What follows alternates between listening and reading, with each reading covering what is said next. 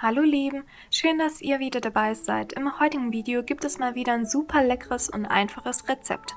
Heute für mein Lieblingskartoffelbrot. Es ist super, falls ihr Kartoffelbrei übrig habt, dann könnt ihr das weiterverwenden. Ihr könnt dieses Brot auch einfrieren. Es lohnt sich auf jeden Fall, das Brot nachzumachen, denn das ist super saftig und knusprig. Nun wünsche ich euch viel Spaß dabei und los geht's. Für unser Kartoffelbrot benötigen wir 750 Gramm Weizenmehl. Ihr könnt die 750 Gramm aber auch aufteilen in 300 und 450 Gramm. Dann verwendet ihr einfach zwei verschiedene Weizenmehltypen miteinander oder benutzt eine ganz andere Mehlsorte. Da seid ihr völlig frei, je nachdem was euch besser schmeckt, das verwendet ihr einfach. Dann gehen wir noch Trockenhefe hinein und Salz. Ihr könnt auch frische Hefe benutzen, aber löst diese erstmal in unserer warmen Wassermischung auf. Das Wasser sollte nicht zu heiß und nicht zu kalt sein. Da kommt noch Honig dazu. Alles schön miteinander vermischen und dann zu unserer trockenen Mehlmasse hinzugeben. Jetzt darf natürlich nicht die Hauptzutat fehlen und zwar unser Kartoffelbrei.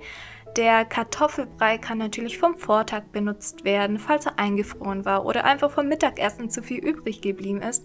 Einfach dazugeben. Wichtig ist nur, dass er natürlich schön abgeschmeckt ist, ansonsten nochmal schön leicht nachsalzen. Unser Teig kann nun verknetet werden, entweder mit der Hand oder mit der Küchenmaschine. Der Teig sollte schön geschmeidig sein und keine Sorge, falls er leicht klebrig sein sollte, das ist völlig normal. Das kommt natürlich vom Kartoffelbrei und dadurch wird dann unser Brot schön saftig. Nun müssen wir ganz kurz unseren Teig herausholen, damit wir die Schüssel einfetten können. Dafür gebt ihr einfach etwas Öl hinein und nun kommt unser Teig wieder zurück in die Schüssel. Der Teig muss nun ruhen für insgesamt eine bis eineinhalb Stunden. Bedeckt die Schüssel am besten mit einem frischen, nassen Handtuch oder mit einer Frischhaltefolie. Wenn euer Teig schön aufgegangen ist, müsste dieser sich mindestens verdoppelt bis verdreifacht haben. Ihr seht, der Teig ist super luftig und ja, dann gebt ihr auf eure Unterlage etwas Mehl, damit euer Teig natürlich nicht kleben bleibt und ihr seht es, wie geschmeidig und toll dieser Teig aufgegangen ist.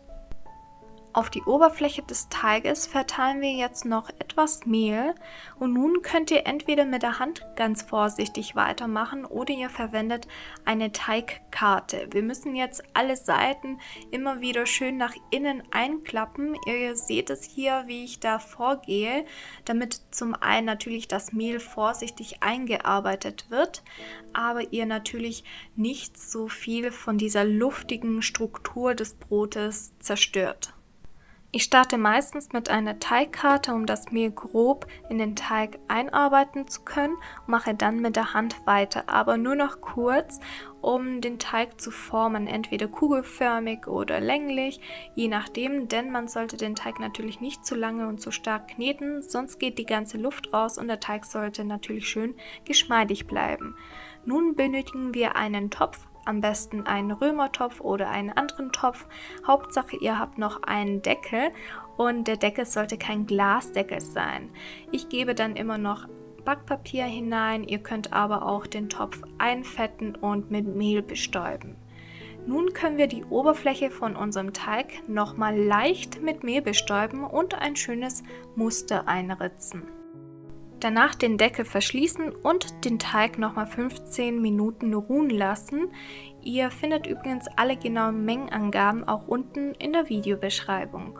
In der Zwischenzeit kannst du mir gerne einen Kommentar hinterlassen und zwar würde mich interessieren, welches Rezeptvideo wünschst du dir als nächstes von mir? Schreib es unbedingt in die Kommentare hinein, denn dann kann ich deinen Wunsch erfüllen.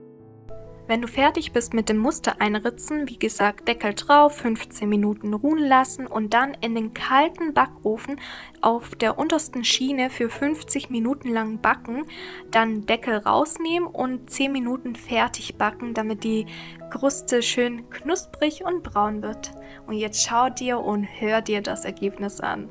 Ihr müsst dieses Brot auf jeden Fall nachbacken, denn jeder, der es bei mir probiert hat, war so begeistert davon. Es ist so saftig und knusprig, schmeckt einfach gut. Es geht schnell und einfach, also probiert es unbedingt aus. Und an diejenigen, die sich Sorgen machen, ob das Brot zu stark nach Kartoffeln schmeckt, nein, keine Sorge. Der Kartoffelbrei ist auch nur dafür da, dass das Brot schön saftig ist. Und ich freue mich wie immer über deine Unterstützung, indem du das Video likest, teilst und kommentierst. Ja, das war's mal wieder für heute. Ich hoffe, das Video hat euch gefallen und es geht euch allen gut. Bleibt gesund und wir sehen uns bald wieder.